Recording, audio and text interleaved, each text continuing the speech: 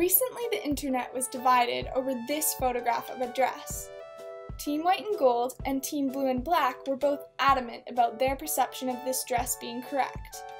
There were a lot of great follow up videos explaining why people perceived it so differently. However, in some ways, everyone was wrong. Although we often think of color as an inherent quality of an object, the truth is much more complicated than that.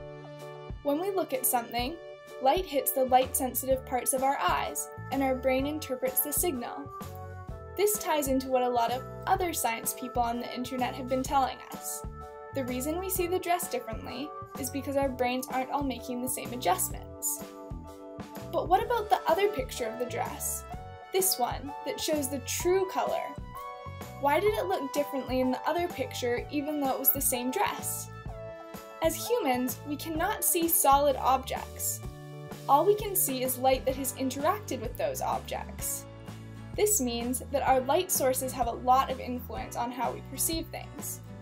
To understand how light interacts with objects, we first must understand that light is a part of the electromagnetic spectrum and has a wavelength. Larger wavelengths, up to 700 nanometers, appear red, and shorter wavelengths, down to 400 nanometers, appear violet, with the rest of the rainbow resting in between.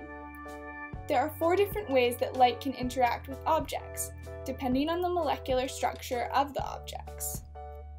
Reflection is the bouncing of light. A mirror is a good example of something that reflects most light.